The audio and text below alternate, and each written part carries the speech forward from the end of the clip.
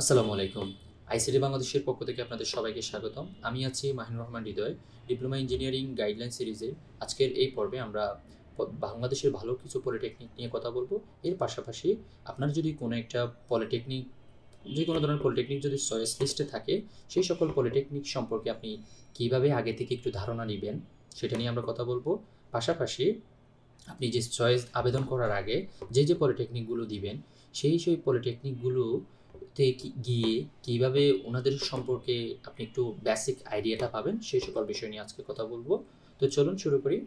তো শুরু করার আগে আপনাদেরকে একটু রিকোয়েস্ট করে নিচ্ছি, সেটা হচ্ছে আপনারা ভিডিওটি শুরু থেকে শেষ পর্যন্ত দেখার চেষ্টা করবেন। কারণ কোনো একটা ভিডিও যে কোনো ধরনের ভিডিও যদি আপনারা দেখেন কন্টেন্ট যদি দেখেন, চেষ্টা করবেন শুরু থেকে শেষ পর্যন্ত দেখার জন্য। অর্ধেক দেখে যদি আপনারা চলে যান তাহলে অর্থাৎ বের হয়ে যান, তাহলে আপনাদের মাথায় রাখতে হবে, আপনারা যদি এরপরে কোনো ডিসিশন নেন, সেটা আপনার পক্ষে যেতেও পারে, নাও যেতে পারে। অথবা যদি আমাদের দিক দিয়ে চিন্তা করি, আমাদের পক্ষে যেতেও পারে, নাও যেতে পারে। এই জন্য আপনাদেরকে বলব, ভিডিওটি শুরু থেকে শেষ পর্যন্ত দেখে তারপর ডিসিশন নিন, তারপর সিদ্ধান্ত নিন, যেটা আপনার ভালো মনে হয়, সেটাই আপনি আমাদের সাথে প্রকাশ করেন। তো এই যে পলিটেকনিক যখন আমাদের আপনারা জানেন, এই পলিটেকনিক বাংলাদেশে অনেকগুলো পলিটেকনিক আছে, হুম? সরকারি, বেসরকারি অনেক ধরনের পলিটেকনিক আছে। তো কোন পলিটেকনিক্যাল আমরা পড়াশোনা করলে আমাদের জন্য বেনিফিশিয়াল সেই পলিটেকনিকের সম্পর্কে আপনাদেরকে একটু আইডিয়া দিই, সেটা হচ্ছে, আপনারা জানেন পলিটেকনিক বলতে আমরা যেটা বলি, আমরা যেখানে চার বছর পড়াশোনা করতে হবে তাই না? তো বাংলাদেশে অনেকগুলো সরকারি বেসরকারি পলিটেকনিক আছে। তো এই পলিটেকনিক থেকে আপনারা অনেকে সিদ্ধান্তহীনতায় ভুগেন যে কোন পলিটেকনিক্যাল আমার পড়া উচিত। অনেকেই আবার বাসার পাশে যে পলিটেকনিকটা আছে, সেটাই পছন্দ করেন। অনেকে আবার অনেক কিছু বিষয়ের মানে বিষয়ের উপর ডিপেন্ড করে নির্বাচন করতে হয়, আমি সেখানে থাকতে পারব কি না ততটুকু আমার আর্থিক সাপোর্ট আছে কিনা, ধরে আমি দূরে একটা প্রতিষ্ঠান যদি সিলেক্ট করি, সেখানে যদি আমি চলে আসি, অনেক কিছু আছে। তো সেই সকল বিষয় ছাড়া অন্যান্য আরও কিছু বিষয় আপনারা চিন্তা করবেন, সেটা হচ্ছে বাংলাদেশে যে যে পলিটেকনিকগুলো আছে, সেই সকল পলিটেকনিক থেকে আপনারা চেষ্টা করবেন বিভাগীয় যে পলিটেকনিকগুলো আছে, সেই পলিটেকনিক্যালে পড়াশোনা করার জন্য। কারণ বিভাগীয় পলিটেকনিকগুলোতে আপনার পড়ালেখার মানটা একটু ভালো থাকে পাশাপাশি তারা সেখানে পড়াশোনা করলে আপনি বলতে গেলে একটা ভালো কিছু করার সুযোগ আপনার ইনশাল্লাহ থাকতে পারে।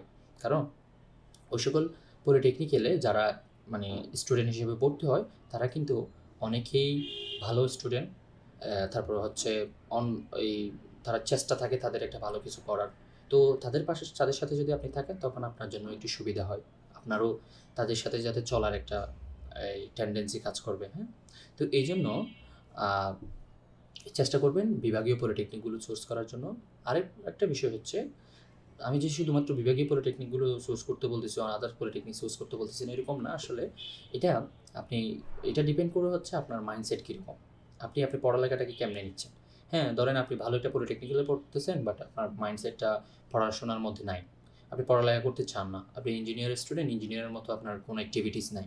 হুম আপনি একজন ইঞ্জিনিয়ারের ভিতরে যে অ্যাক্টিভিটিসগুলো থাকা দরকার, যে কোয়ালিটিগুলো অ্যাটিটিউডগুলো থাকা দরকার, সেই অ্যাটিটিউডগুলো আপনার নাই হ্যাঁ তাহলে কিন্তু আপনি ভালো প্রতিষ্ঠানে পড়াশোনার করার পরেও তার মানে তো আপনি খারাপ করতে পারেন তখন তো দোষ দিতে পারবেন না, আমি এত ভালো পলিটেকনিক্যালে পড়াশোনা করে কিছু হতে পারলাম। আবার অনেকে আছে নর্মাল পলিটেকনিক্যালে পড়াশোনা করে নর্মাল বলতে আমি কাউকে ছোটো করতেছি না, কোনো প্রতিষ্ঠানকেই ছোটো করতেছি না বাট এটা বোঝাতে চাচ্ছি যে অনেক বাংলাদেশের পড়াশোনার এডুকেশন সিস্টেমে কিছু তারতম্য অবশ্যই আছে। অনেক, ওইটা তো সারা ওয়ার্ল্ডে প্রত্যেকটা ইউনিভার্সিটি প্রত্যেকটা ইনস্টিটিউশনে আছে। তো আমরা এখানে কাউকে ছোটো করতে চাচ্ছি না, কোনো প্রতিষ্ঠানকে ছোটো করতে চাচ্ছি না বাট যেটা বলতেছি সেটা হচ্ছে কি, চেষ্টা করবেন ওই সকল পলিটেকনিক্যালে পড়লে তখন আপনার জন্য একটু সুযোগটা বেশি। আপনি চেষ্টা ওদের সাথে মিলে একটা মানে সবাই মিলে যখন পড়াশোনা করবেন, ওরাও ভালো করে পড়াশোনা করতেছে, আপনিও ভালো করে পড়াশোনা করতেছেন, ওরাও ভালো করে স্কিল গ্যাদার করতেছে, আপনিও তখন চেষ্টা করবেন স্কিল গ্যাদার করার জন্য। তখন সেই জন্য আপনাদেরকে বললাম যে ওই সকল পলিটেকনিক্যালে পড়াশোনা করার চেষ্টা করবেন। সেটার জন্য আপনারা অনেকগুলো বিষয় চিন্তা করতে হবে। আপনারা ইকোনমিক্যালি সাপোর্ট পাশাপাশি হচ্ছে পরিবেশে গিয়ে টিকে থাকা, পাশাপাশি হচ্ছে নতুন একটা পরিবেশে এই কীভাবে থাকবেন চার বছর, এইসব বিষয়গুলোও চিন্তা করতে হবে। শুধু একটা বিষয় চিন্তা করবেন তা না, এই পাশাপাশি আপনারা যেগুলো পার্সোনালি আপনারা চিন্তা করেন, পারিবারিকভাবে চিন্তা করেন, ওই সকল বিষয়গুলো তো অবশ্যই চিন্তা করবেন। তো এটি হলো মানে বিভাগীয় পলিটেকনিক বলতে আমি এখানে বুঝাচ্ছি, ঢাকা পলিটেকনিক চিটাগং পলিটেকনিক তারপর হচ্ছে রাঙ্গামাটিতে একটি আছে, এটা বিভাগীয় পলিটেকনিক ধরে না। তো রাঙ্গামাটি সুইডেন পলিটেকনিক আছে, তারপরে ঢাকা মহিলা পলিটেকনিক আছে, তারপরে চিটাগং মহিলা পলিটেকনিক আছে, তারপরে এই বগুড়া পলিটেকনিক আছে, অনেকগুলো বিভাগীয় পলিটেকনিক আছে। সেই সকল পলিটেকনিক্যালে পড়াশোনা করার জন্য চেষ্টা করবেন।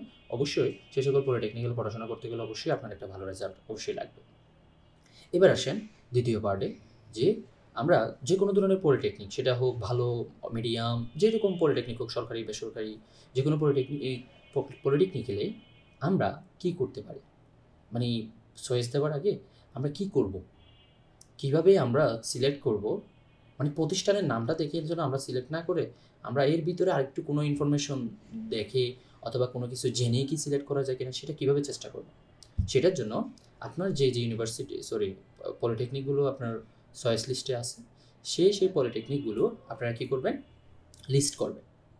লিস্ট করার পর আপনি কি করবেন? যদি সেটা যদি আপনার কাছাকাছি থাকে, তাহলে চেষ্টা করবেন ওই পলিটেকনিক্যালে আবেদন করার আগে একটু ঘুরে আসা। ওইখানকার একটু পরিবেশটা দেখা।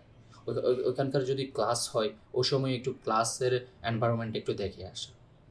দেখে আসা বলতে গেলে কেউ যদি আপনাকে প্রশ্ন করে, তখন আপনি বলতে পারবেন, আমি এই পলিটেকনিকে ভর্তি হওয়ার জন্য ইচ্ছুক, তাই এই পলিটেকনিকটা একটু দেখতে আসছি। তো কেউ যদি আপনাকে জিজ্ঞেস করে আপনি কোথা থেকে আসছেন, এরকম যদি হয় আর কি। তো এই জন্য চেষ্টা করবেন ওই পলিটেকনিক্যাল একটু ঘুরে আসতে। আপনি যে ডিপার্টমেন্টে চয়েস দিবেন, সেই ডিপার্টমেন্টে একটু ঘুরে আসবেন। এসে দেখবেন ওইখানে ল্যাব আছে। কারও থেকে জিজ্ঞেস করলে, তত্ত্বকেন্দ্র থেকে জিজ্ঞেস করলে ওই ল্যাবগুলো দেখার চেষ্টা করবেন। ওই ল্যাবগুলোতে ভালো কম্পিউটার আছে কিনা, ভালো মেশিনারি আছে কিনা, যে যে ডিপার্টমেন্টের হোক ল্যাবের মধ্যে সরঞ্জাম আছে কিনা তারপর হচ্ছে আপনি দেখে তো একটি অ্যাটলিস্ট একটা বেসিক আইডিয়া পাবেন। যদিও পলিটেকনিক্যাল আপনি ভর্তি হয়ে যান, তখন তো আপনি বুঝতে পারবেন যে এই পলিটেকনিক্যালে তো আমি এগুলো দেখেই তো ভর্তি হয়েছে। তো এগুলো আমি কীভাবে কাজে লাগাবো আমার পড়াশোনার জন্য? তো সেটার একটা আপনি বেসিক আইডিয়া কিন্তু পেয়ে যাবেন।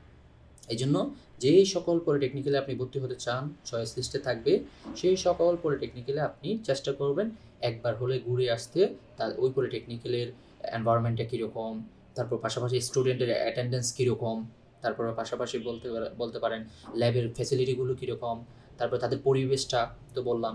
তো এই সকল বিষয়গুলো যদি আপনি একটু জেনে নেন, তখন আপনার একটা বেসিক আইডিয়া হয়ে যাবে। হয়তো একদিনে সব কিছু তো বোঝা সম্ভব না হ্যাঁ? আপনি অনেকের সাথে কথা বললেন হতে পারেন একটু কথা বলে দেখলেন, আশেপাশের মানুষের সাথে কথা বলে দেখলেন, অনেক কিছু করা যায়। আপনার ভালোর জন্য আপনি চার বছর যেহেতু পড়াশোনা করবেন, এমনিতে নাম দেখে ভর্তি হয়ে যাবেন না। চেষ্টা করবেন অনেক কিছু জেনে, বুঝে, তারপর ভর্তি হতে। তো এভাবে যদি আপনি একটু দেখে শুনে যদি পড়াশোনাটা করেন, দেখবেন দেখবেন আপনি যে পড়াশোনাটা করতেছেন সেটা নিয়েও আপনি স্যাটিসফাইড আপনি পড়াশোনাটা শেষ করার পরেও আল্লাহ রহমত আপনি ইনশাল্লাহ স্যাটিসফাইড থাকবেন।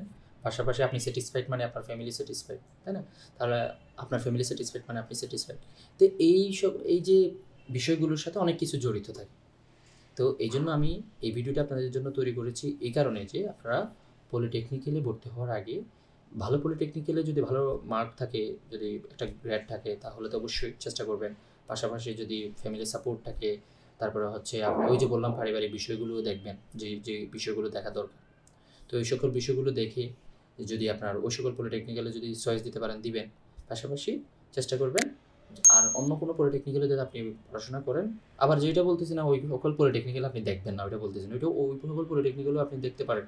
অবশ্যই যাবেন, যদি দূরে হয় তাহলে যাওয়া হয়তো বা পসিবল না। কিন্তু যদি কাছে হয়, তাহলে তো অবশ্যই যাওয়া পসিবল গিয়ে একটু তাদের সমস্ত কোয়ালিটি তারা কীরকম স্টুডেন্টদের কীরকম সাপোর্ট দিচ্ছে, তারপর হচ্ছে এগুলো একটু যদি আপনি রিসার্চ করেন, তাহলে কিন্তু জেনে যাবেন। এখন আপনি যদি আমাকে প্রশ্ন করেন, আপনি কোনো দিন আপনি গেছেন কি না আমি বলব না।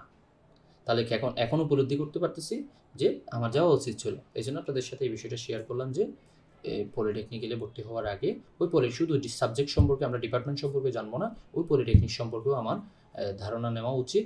কারণ ওই পলিটেকনিক্যাল আমি চার বছর পড়াশোনা করব। তো আজকের এই ভিডিওটি এতটুকুই। পরবর্তী ভিডিওটি দেখার জন্য অনুরোধ করা হচ্ছে। আল্লাহ হাফেজ।